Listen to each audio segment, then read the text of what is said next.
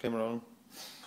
Good afternoon, welcome to I Ain't No Chef. Today I'm going to be showing you how to make a lovely soup with uh, some pepper, onion, cherry vine tomatoes, lime and little garlics. I'm not sure of the proper word for On these. TV, you don't pick stuff up Why not? because you can't. Right. Uh, tonight I'm going to be showing you soup with this fella, just touch it? Go pepper. Oh, onion, garlic, okay.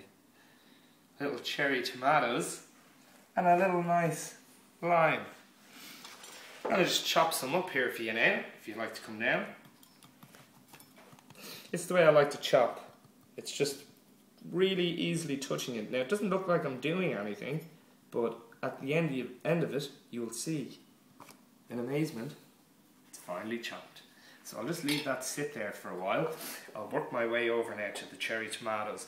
Now these are bad boys I like to call them. Real bad boys. As you can see, they're beautifully red, they're nice and ripe.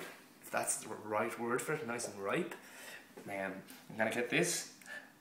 I shouldn't be touching it, but um, it's nice to kind of masturbate your food. It, it gives it the texture that you're, you're gonna want at your finished product finished product, I should say. So if you just kind of masturbate your food a bit, just get nice and warm. Now, don't expect it to ejaculate because peppers and fruits and all, they don't work like that. So now that's nice and warm for chopping. And again, this is the way I like to chop my food. Again, you're not gonna, it's not gonna look like I'm doing much, but the end product will show that it's finely chopped. So I'll leave that to the side now. And I'm gonna bring it over to a nice red onion. Uh, thing about a red onion, you have to peel a good few layers before you actually get to the onion. And you can see that it's wonderfully red. It's like like a lovely red wine you get in like the hills of Italy or somewhere. A nice little one. A little hill of Italy, as I like to call it. So you can see that now. Just the juice, it's just ready to burst out of its skin. So again, just give it a nice little rub. Nice rub around the hands there. And this again, just it, it gets all the flavours just to come up, just to come out. They're just waiting to burst open. It's like a red wine. When you open a red wine, you kind of give it a bit of a swirl just to get the aromas going. It's the same thing with an onion. Just try and ejaculate it. Give it a masturbate. There's nothing wrong with it. People won't look at you funny because most of the time you're cooking on your own at home, aren't you?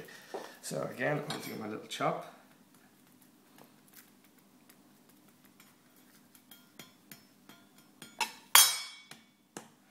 I'll leave that there for later.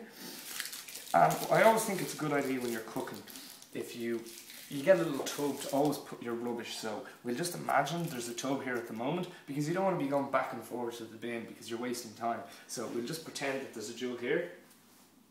So that's in the jug.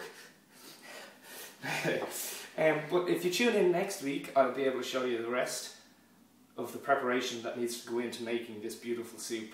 So um, for tonight, it's good night, but I'll see you again next week.